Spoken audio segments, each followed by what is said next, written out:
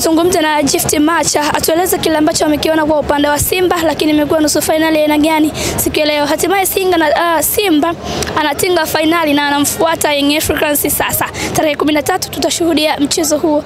Gift, mambo vipi? Fresh. Pole na majukumu. Ah, Asante, pole na wewe. Shukrani sana. Mocheka. No, nimefurahi kuona tena. Sawa, tuambie tu kile ambacho umekitazama kwenye nusu fainali ya pili. Umekuwa ni mchezo ambao umeamuliwa kwa matuta na mshindi ameenda fainali. Ya, nadhani eh, kile ambacho kimeonekana leo ni uthibitisho kwamba hizi ni timu nne bora kwenye ligi yetu ya Tanzania. E, tuliona jana ilikuwa mechi nzuri e, Azam na Yanga, lakini e, leo watu walitegemea pengine ingekuwa si mechi ngumu sana e, kwa namna ambavyo walikuwa wakizipima Simba na Singida, lakini e, Singida amethibitisha kwamba wanastahili kuwepo kwenye timu nne bora kwenye ligi yetu. Wamewapa Simba kipimo ambacho pengine hawakukitarajia, lakini wamethibitisha kwamba wamefanya usajili wao kwa umakini mkubwa sana. Wameanza na wachezaji saba wapya kwenye kikosi cha kwanza. E, usingetegemea timu ambayo imeanza na wachezaji wengi hivyo ingeenda kuwa na kiwango ambacho wamekionyesha. Walicheza vizuri sana, walizuia vizuri sana kwenye muda mwingi wa mchezo, walikuwa na plani nzuri ya kushambulia kwa kushtukiza, na walikuwa wakiondoka kwenye transition, walikuwa vizuri. Mara nyingi walikuwa wana, wanaenda wanafika kwenye boksi la mpinzani. E, kwangu nasema Singida wame, wamefanya usajili mzuri sana na umejithibitisha. Watu wao wale wa mbele e, Morris Chuku e, Abuya e, Shekei ukiwaangalia na ni wachezaji ambao ni wageni, lakini namna ambavyo wanacheza kwenye eneo la mbele wamekuwa na, na, na performance nzuri sana.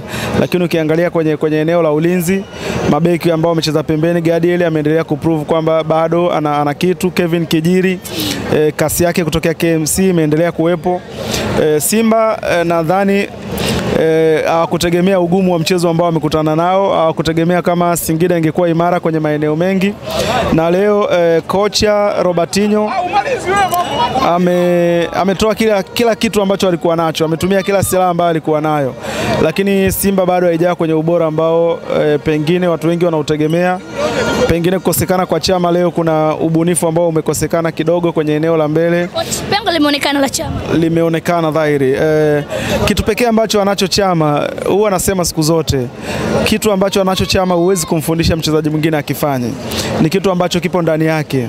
Ni mchezaji ambaye ana utulivu mkubwa, ana jicho kubwa la kuona e, wachezaji wenzie wako wapi e, anajua namna ya kucontrol tempo ya timu, anajua namna gani ambavyo timu inakwenda kushambulia.